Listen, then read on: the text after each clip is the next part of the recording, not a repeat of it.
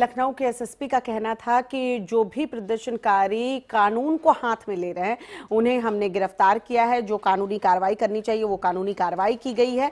तो ये समझिए, ये आप लोग बार बार आर नाइन टीवी आपसे अपील कर रहा है कि आप समझिए कि आपके हित में क्या है। आप अगर कानून हाथ में लेंगे तो आप पर कार्रवाई होगी। तो पहले आप समझिए ये कानून क्या कहता है। क्या आपके राइट्स आपसे छीने जा रहे हैं?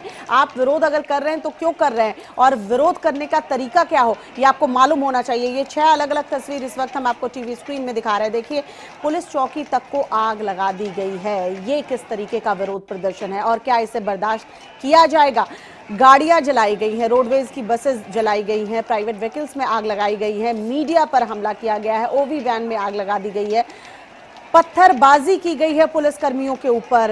अब जब आप पत्थरबाजी कर रहे हैं तो कैसे पुलिस कर्मी जो हैं, वो आप पर बल का प्रयोग नहीं करेंगे? आप ये सोच ले रहे हैं। देखिए, हर जगह सीसीटीवी कैमरे लगे हुए हैं। सीसीटीवी कैमरे में भी अगर आपकी तस्वीर आती है, आप कानून हाथ में लेंगे तो उपद्रवियों की पहचान कर कर उन पर कार्रवाई की जाएगी। तमाम पॉलिटिकल रिएक्शन इस बीच आ रहे हैं। क्या कुछ कहना है पॉलिटिकल पार्टीज़ के प्रतिनिधियों का? वो भी आपको सुनवाते हैं।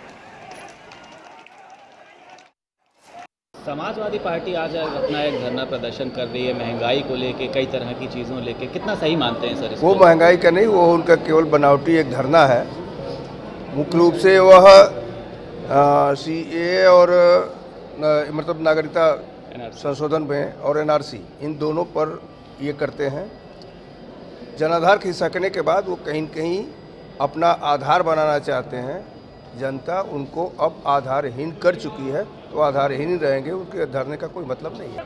लगातार इससे धरना प्रदर्शन चला है, चलता रहेगा, क्योंकि ये सरकार जो है, तमाम जनता की समस्याओं पर आँख बंद करके देश को बर्बाद कर रही है और उनको हल करने के बजाय लाठी गोली का सहारा दे के पीसफुल धरना और प्रदर्शन को बैन कर रही है। आपातकाल की स्थिति ला रही है, तानाशाही चला रही है। तानाशाही के खिलाफ देश बचाने के लिए, जमहूरियत बचाने के लिए आज उत्तर प्रदेश और देश के अंदर जो है भाजपा सरकारों के खिलाफ, जिन्होंने जनता के मुद्दों से ध्यान हटा के अब नागरिकता बिल ला के उन्होंने समाज में जिस तरह नफरत फैलाने का काम किया है, आज पूरा देश और प्रदेश खड़ा है।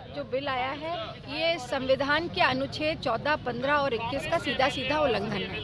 अगर संविधान के साथ खिलवाड़ किया जाएगा तो निश्चित रूप से इस देश में जो लोग संविधान में विश्वास रखते हैं, उसका सम्मान करते हैं, वो आंदोलन करेंगे। और आज यही वजह है कि आज कांग्रेस पार्टी भी पूरे देश में आंदोलन करेगी और इस संविधान की रक्षा करने के लिए कांग्रेस पार्टी ने हमेशा संकल्पबद्ध है और हम संघर्ष करेंगे, इस संविधान को बचाने